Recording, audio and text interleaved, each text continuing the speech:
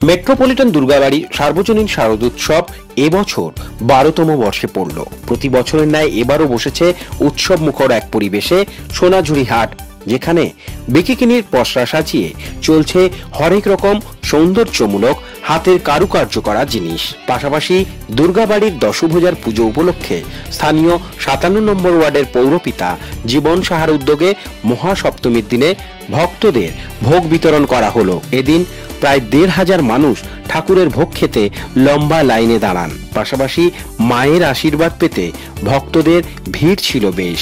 জীবন সাহার উদ্যোগে নরসেবার পাশাপাশি সারা বছর ধরে রক্তদান শিবির, জন্মাষ্টমী পালন সহ মানুষের সেবামূলক কাজ চলতেই থাকে। পুজো উপলক্ষে প্রতিদিন ভোগ পাবে ভক্তরা বলে তিনি জানান। এই প্রয়াস সত্যি বেশ সুন্দর, যা মানুষের হৃদয়ে গেঁথে থাকবে অনেক দিন। মানেই সবাইকে নিয়ে একসাথে পথ চলা সেটাই আমরা করতে চাই। আর সেটা করতে পেরে আমরা অত্যন্ত আনন্দিত।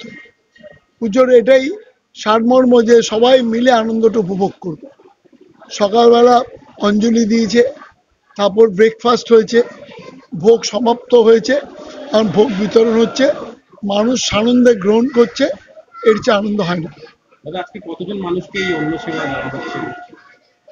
কম করে হাজার দেড়েক।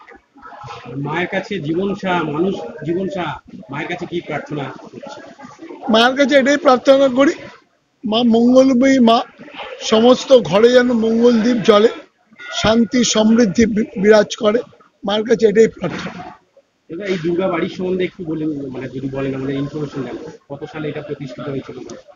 দেখুন মন্দিরের একটা আকুলতা অঞ্চলের মানুষের কাছে থাকে।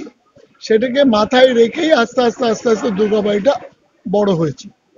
সুতরাং এই দুবার গাড়ি এখন মানুষের একটা পানের স্পন্দন। আমরা চাই এটা ওয়েল মেনটেন্ড হোক।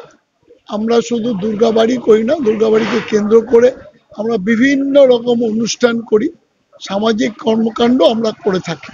সুতরাং এই দুর্গাবাড়ি শুধু মায়ের পুজো, কালী পুজো, শিব পুজো মানে রথ, জন্মাষ্টমী থেকে শুরু করে সবটাই হয়। পাশাপাশি ব্লাড ডোনেশনও ক্যাম্প হয়, স্বাস্থ্য শিবিরও হয় স্পোর্টস হয়, বিভিন্ন মানুষের আর্থের সেবা তো আমরা নিজেদেরকে যুক্ত রাখি। ব্যুরো রিপোর্ট, প্রিয় চিত্র সাথী নিউজ, কলকাতা।